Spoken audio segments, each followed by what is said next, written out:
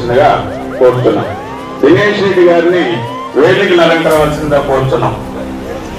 చైతన్య గారిని కూడా వేదికను అలంకరించవలసిందిగా కోరుతున్నాం. వీరేంద్ర గారిని ఇందుకూరుపేట మండల పార్టీ అధ్యక్షుడు వీరేంద్ర గారిని కూడా వేదికను అలంకరించవలసిందిగా కోరుతున్నాం.